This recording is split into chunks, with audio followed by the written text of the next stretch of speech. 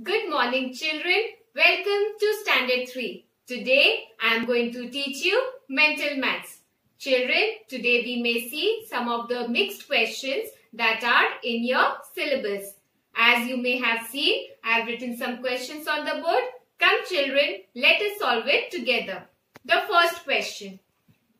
185 divided by 185. Here children, we are talking about properties of division. You must have studied that any number divided by the number itself, the quotient or the answer will be 1. So, here the answer will be 1. Moving on to the second question. What is the second question telling us? 0 multiplied by 80.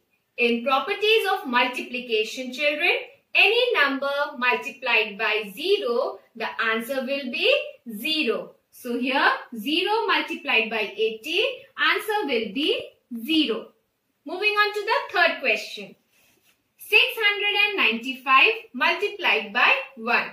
Again, in properties of multiplication, any number multiplied by 1, the answer will be the number itself. So here the number is 695 multiplied by 1. So your answer will be 695. Moving on to the fourth question. What is fourth question children? 68 divided by 0. In properties of division, any number divided by 0, your answer or your quotient will be 0. To the fifth question. What is fifth question here children? Write a fraction where the denominator is 10 and numerator is 5.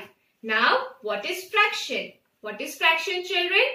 Fraction is a number that expresses equal parts of a whole object. Come let's see. Here children, there is a denominator and a numerator. A fraction has a numerator and a denominator. The number above the line is called as numerator and the number below the line is called as denominator. Come children, let us solve. Here the numerator is 5. So first we'll write 5 and the number below the line that will be your denominator we'll write 10. So here we have written the number in fraction.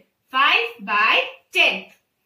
Moving on to the sixth question. 3 by 6 of 36. Here you need to divide this number 36 with the denominator. So 36 divided by 6. You will be getting 6.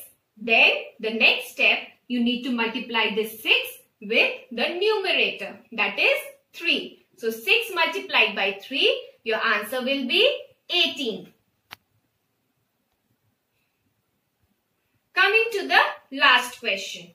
How many units in 2 scores? How many units in 2 scores? Now children, 1 score is equals to 20 units. So 2 scores that will be 20 into 2. 20 into 2 will be 40 units. So your answer is 40 units.